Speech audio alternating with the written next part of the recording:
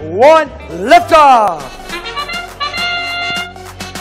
All three robots underway for the Blue Alliance. All three robots now underway for Red, trying to get the gear onto the airship for the Red Alliance. See if they can get it up and get it mounted here in autonomous mode. Autonomous mode comes to an end. The drivers now step up and take control.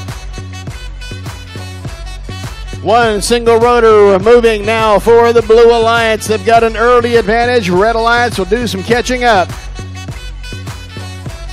Frog has themselves a gear. Can they get it picked up and on the peg?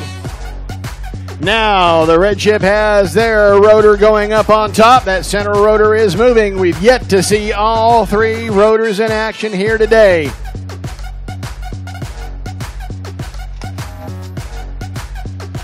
Red Nation Robotics has a gear. They've got it dislodged. Nicely done, but it may have been at the cost of their robot. They hit hard and they went still.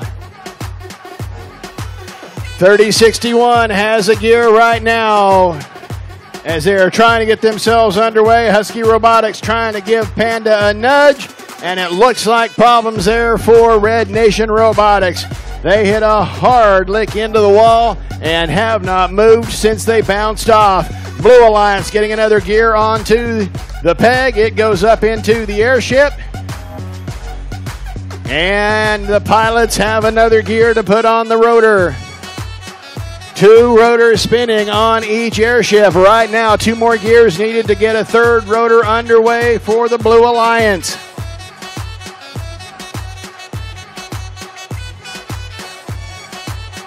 Team Frog heading down to the gear retrieval station. Oh, hard contact there as Team 3061 gets into the commando bots as Husky Robotics trying to prevent the gear from being loaded. And the last gear for the third rotor has been underway.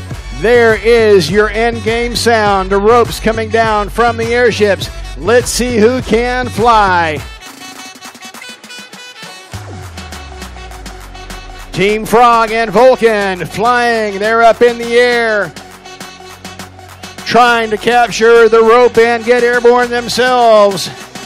Is Team 5889 up into the air flying 45 23 for McRobo. 30 61 lights it up. And at the end, also lighting it up was 5889 for the Commando.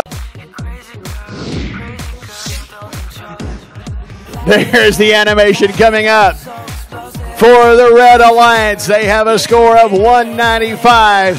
For the Blue Alliance, two ranking points and a score of 230.